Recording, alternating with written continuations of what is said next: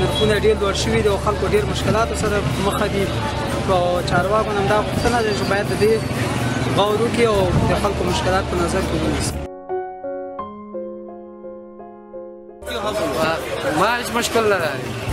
مشکل نداری دکاندار هستیم که ما کس کار نداره نه ما که کس کار داریم ما بیطرف مردم هستیم دو یک دکاندار هستیم فهمیدی یک دکاندار هستیم غریبی خودم میکنیم که ما کس کار نداره